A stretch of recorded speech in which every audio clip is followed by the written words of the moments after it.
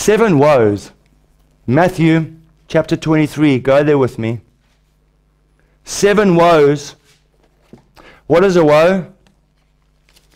Condemnation. It's a condemnation. You get the woe and the weal. The weal you will find in uh, uh, uh, Matthew chapter 5 onwards, meaning blessed. A weal. You pronounce a blessing. Number six. Number six gives us the blessing, the benediction. So when you when you give a will, you bless those in the name of Jesus. Shalom, whatever. But here we have woes. Woes to the scribes and the Pharisees. Seven woes pronounced by Jesus for leading people astray in tradition. I'm saying all of this because I cannot get to the part where we're all one body, 1 Corinthians 12, and we all got one gift. That means absolutely nothing if we don't realize we, we, if, if we're caught up in traditionalism. If you're caught up into, oh, this is what I do on a Sunday, that's it, no more, then you're a traditionalist. I might as well not even read 1 Corinthians 12 to you. Seven words pronounced. Matthew chapter 23. Write it down and I'll read it to you anyway. The first word is verse 13, verse 15, verse 16, verse 23, verse 25, verse 27, verse 29. The first woe from verse 13. This is the loving Jesus who's come to die for the sins of the world, but he's come to die, as Isaiah uh, 53 tells us, to break, to set the prisoner free. The prisoner who is not just imprisoned in the, in, in, in, in, the, in the shackles of death and sin, but imprisoned in traditionalism. He's come to break that. And this is the meek and mild Jesus who, is, who seems to be People say he's a friend of sinners, but we don't realize that when he comes to sinners, those sinners are changed in an instant. And I think of Zacchaeus. When he came down, Zacchaeus, come down, for today the kingdom has come to your house. And he goes into Zacchaeus' house. You know, the very first thing that comes out of Zacchaeus' mouth, I will give back to those who I have stolen. Four times. Four times the amount, because he was in the presence of holiness. He was in the presence of the Redeemer and the Savior, Jesus Christ, who was a friend of sinners to change sinners, to break them from the shackles of traditionalism. And traditionalism was also ripping off your own people. And the people were just, well, what can I do? What can I do?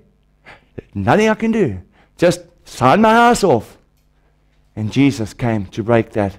And he broke it in such a way he spells out seven condemnations with such veracity and such vehemence, with such deepness. Because how mad he is at Satan. Because these people were agents, agents of Satan, mouthpieces of Satan, actually the minions of Satan, the scribes and the Pharisees. And they were doing the works of Satan. And Jesus had enough had enough.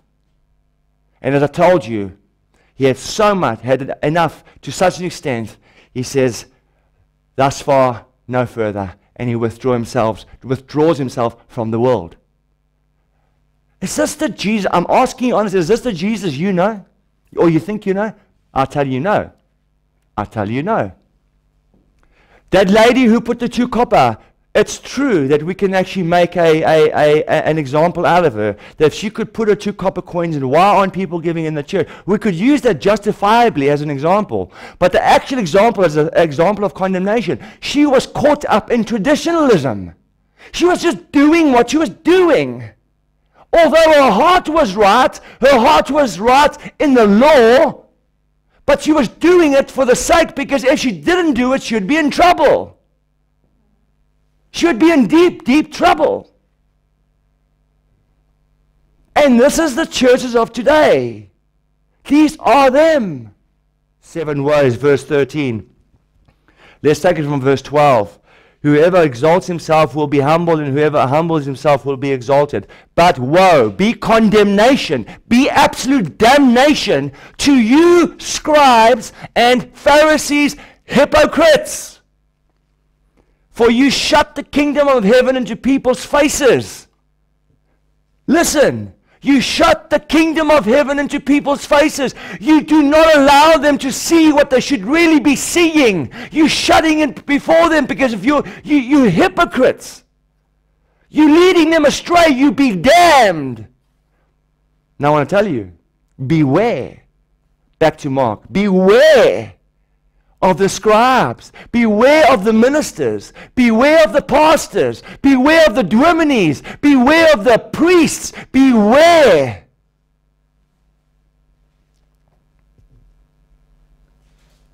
Because you shut the kingdom of God in their faces. Verse 15. Again, all condemnation. Woe to you, scribes and Pharisees, hypocrites! For you travel across sea and land to make a single proselyte, to make a single convert in modern English. And when he becomes a convert, you make him twice as much a child of hell as yourselves. Jesus is actually saying you are actually representatives and you are agents of hell and you go across and you try and convert someone into your traditional church system, you're making them twice the son, the agent of hell than you are. Because they are going to grow up and they're going to become a mouthpiece even stronger for you than you are. Because you've led them astray. Beware of what you hear behind the pulpits. Beware. Woe number 3, verse 16. Woe to you, blind guards! Woe, be damned, be condemned to you, blind guards, who say, If anyone swears by the temple, it is nothing. But if anyone swears by the gold of the temple, he is bound to his oath. What? You guys look at me skew and say, Is that happening in churches? I'm telling you it is. I'm telling you it's happening in churches.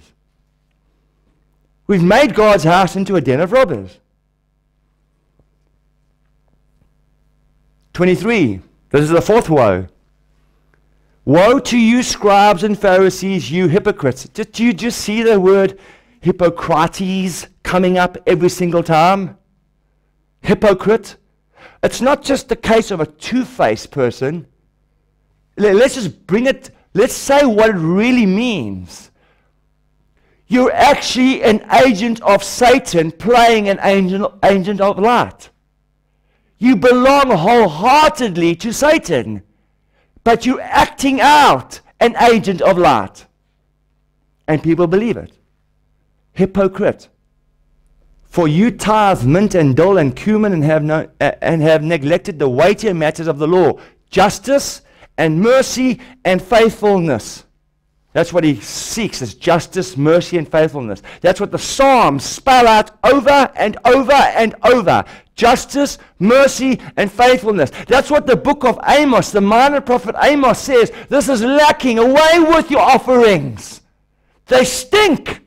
Away with your music. They stink. You have neglected justice and mercy and faithfulness. You have led people astray. You blind guards. Verse 24, straining out a gnat and swallowing up a camel. Verse 25 Woe to you, scribes and Pharisees, hypocrites, for you clean the outside of the cup and the plate, but inside they are full of greed and self indulgence. You blind Pharisee, first clean the inside of the cup and the plate, that the outside also may be clean. Verse 27 again Woe to you, scribes and Pharisees, hypocrites, for you are like whitewashed tombs, which outwardly appear beautiful. What are you talking about? Here, their robes.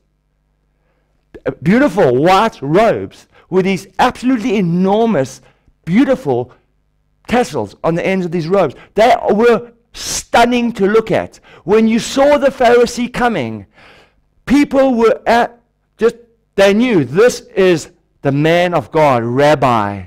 By the way, just so that you know, rabbis sometimes even esteem them to the, to the level of father. You are directly equal to God. You're an agent right from God.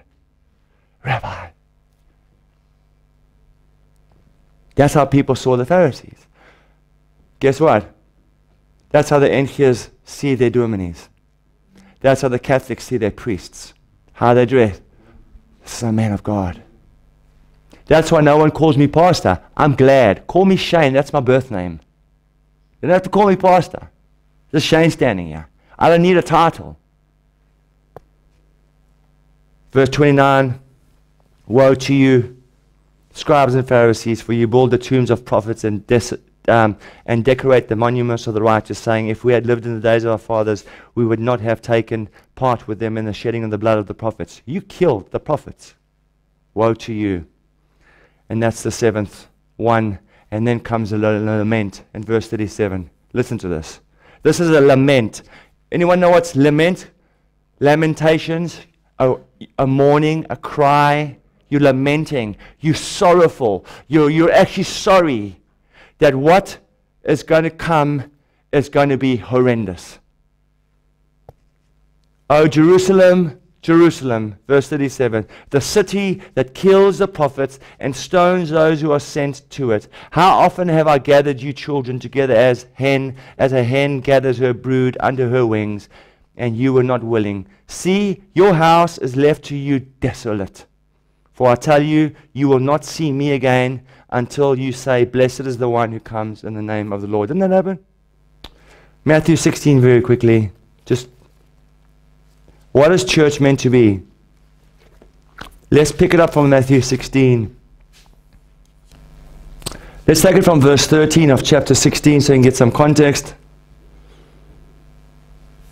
And by the way, if you go to the beginning of Matthew chapter 16, it opens once again with these just always there, just, you know, looming in the back shadows are the scribes and Pharisees, because it opens up with chapter 16 as, and the Pharisees and the Sadducees came to test him. They're just there, ubiquitous. They're always there. They don't like what he's doing. He is freeing people from the shackles of traditionalism. And he is setting free people for the kingdom of heaven. And they're just there to test him, to make sure, to try and trip him up. And by the way, he thwarted every single one of them. Every single one of them. And at his time, as the Bible tells us, he gave himself up. He gave himself up. He gave himself up even unto death. It was his choice. They couldn't thwart him. Verse 13 Now, when Jesus came to the district of Caesarea Philippi, he asked his disciples, Who do people say that the Son of Man is? And they said, Some say John the Baptist, some say Elijah, and others say Jeremiah or one or of the prophets. He said to them, But what, who do you say that I am? Now, listen to this. Simeon Peter replied, or Simon Peter, you are the Christ, the Son of the living God. And Jesus answered him, Blessed are you, Simon Barjona, for flesh and blood has not revealed this to you, but my Father who is in heaven. And I tell you, Peter, on this rock I will build my church, and the gates of hell shall not prevail against it. On this rock, that, that just that confession, who are you? You are the Christ the Son of the living God, implying, and Peter knew exactly what he's talking about, the one who was and is and still is to come, the one who has come to take away the sins of the world, as John the Baptist says, Behold, the Lamb of God who comes to take away the sins of the world. Peter repeats the very same thing, and, and Jesus said, You know what? I never told you that. Your, our Father, your Father in heaven, God has shown you that on that rock, just on that confession, that exact confession that I want to hear from the church.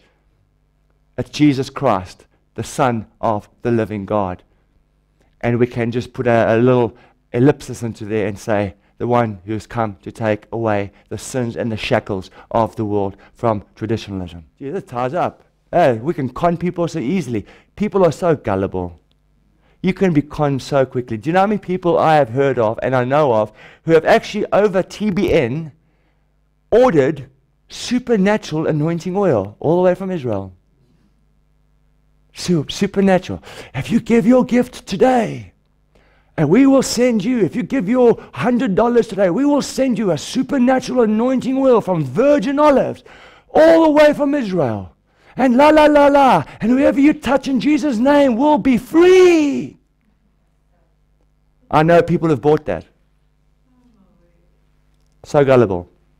So gullible. But you are the Christ, the Son of the living God. No one has showed you that except my Father in heaven. And may I bring this to a close? The book of John again reminds me no one comes to me unless the Father draws them to me. So if the Father in heaven doesn't show you the Christ, you cannot come to the Christ. And therefore you cannot belong to the Christ. And therefore you cannot be filled with the Spirit of Christ. And therefore you cannot understand. Like the, world, the word says, the world cannot perceive the, the words of Christ. They are foolishness, says the uh, book of Corinthians to them. Utter foolishness.